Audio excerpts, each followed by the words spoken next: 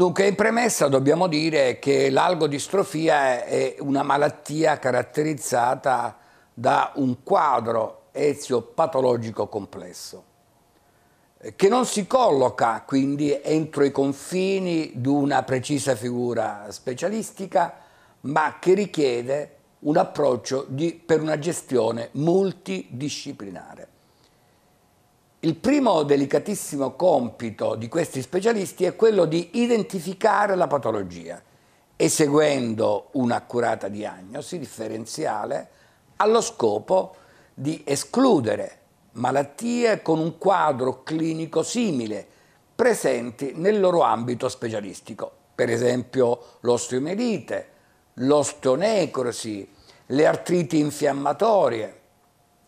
E quindi oltre dobbiamo dire che alla diagnosi anche la terapia richiede un approccio multidisciplinare dove le figure principalmente coinvolte sono l'ortopedico, il fisiatra, l'algologo.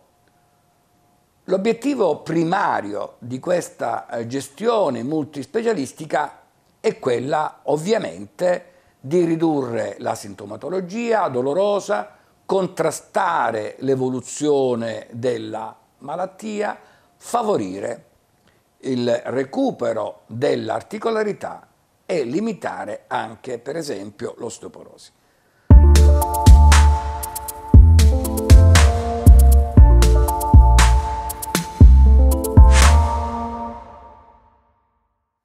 L'ortopedico deve impedire l'evoluzione della patologia verso forme subacute e croniche, considerando che l'algodistrofia rappresenta per esempio una complicazione, purtroppo ahimè spesso sottostimata, sia della chirurgia maggiore che di quella minore e noi sappiamo che l'algodistrofia in un rapporto 4 a 1 è più frequente nelle donne.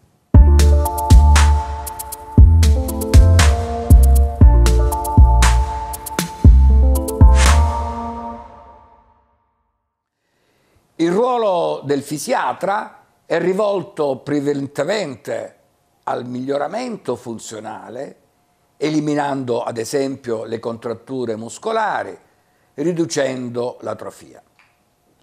Una buona strategia preventiva consiste nella mobilizzazione precoce dopo l'atto chirurgico con esercizi attivi e passivi per mantenere l'escursione articolare.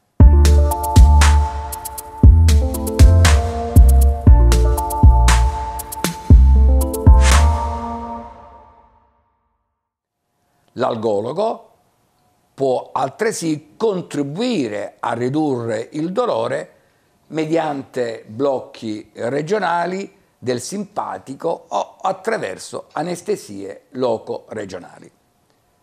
Pertanto, la multidisciplinarità è il requisito sul quale si fonda la gestione dell'algodistrofia ed è fondamentale per un corretto inquadramento diagnostico, per un rapido ed efficace trattamento e per ridurre, cosa ancora più grave, le probabilità di cronicizzazione della condizione algica di questa patologia che, ripeto, ancora oggi è sottostimata, sottotrattata.